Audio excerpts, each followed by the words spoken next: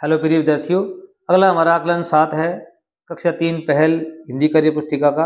इसमें पहला प्रश्न है निम्नलिखित वाक्यों को पूरा कीजिए।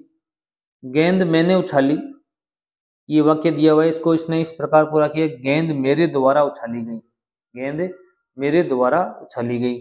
तो पत्र राम ने लिखा लिखा इसमें कर, करता कौन होगा अभी? या तो लिखोगे राम द्वारा पत्र लिखा गया या पत्र राम द्वारा लिखा गया। लिख सकते हो?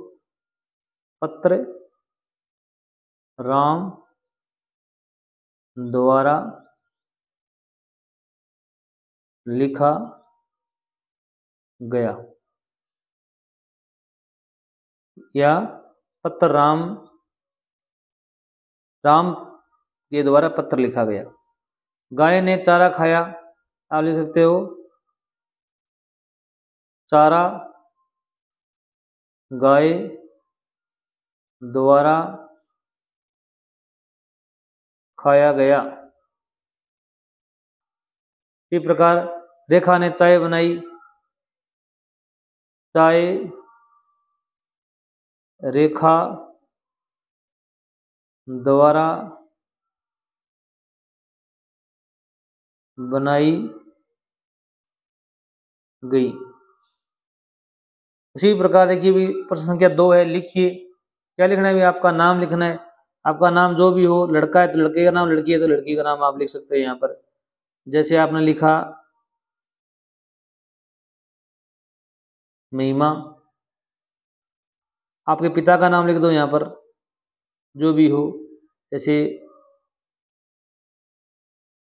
शंकरलाल। आपकी दादी का नाम लिख दो।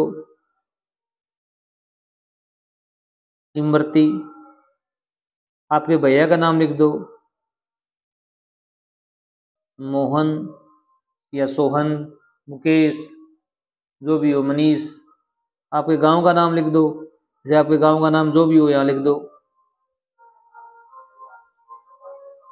ललाना। अगला देखो भी, चित्र देखकर उसका नाम लिखो। वह लिखे, नाम, हुए नाम के अंतिम वर्ण से शुरू होने वाले शब्द लिखिए एक शब्द लिखना आपको। जैसे यहाँ पर चित्र लिखा गया, घर। घर में रह से क्या बना दिया इसने? रचना बना दिया। जैसे ये क्या है अभी? मूली। मूली में ली से आपको एक शब्द बनाना है। कुछ भी बना सकते हो, लीची। क्या बना दिया अभी? लीची। ये क्या है अभी? बकरी। री से क्या बनाओगे अभी?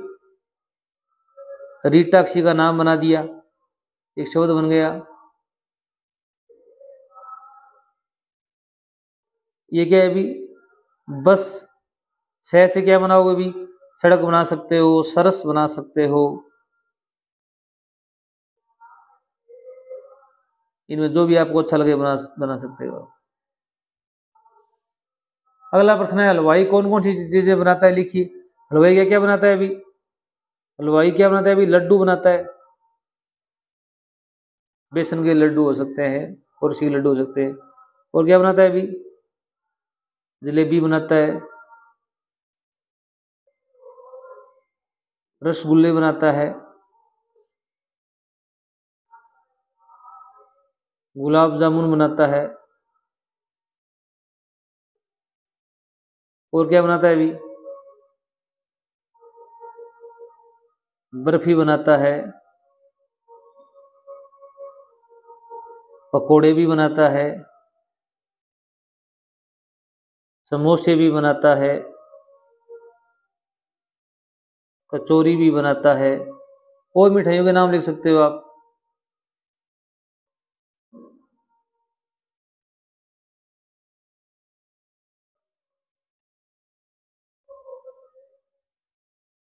कतली बनाता है, रसमलाई बनाता है।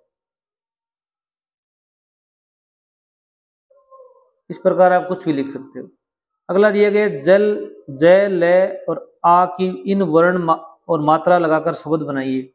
आपको इन्हीं तीन दो शब्द हैं दो अक्षर हैं दो वर्ण हैं एक मात्रा है। इनका प्रयोग करते हुए आपको शब्द बनाने जैसे जय से क्या बनेगा अभी?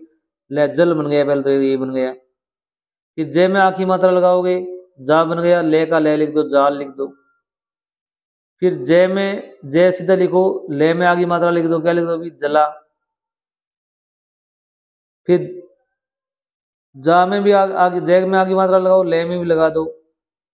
जाला। अब ले लिखो पहले ला में आगे मात्रा लगाओ लाज। क्या लिखा अभी? लाज। फिर ले सीधा लिखो जय में मक्त लज्जा। इस प्रकार को नए शब्दों का निर्माण करना है। वीडियो अच्छा लगा चैनल ज़रूर सब्सक्राइब करना। थैंक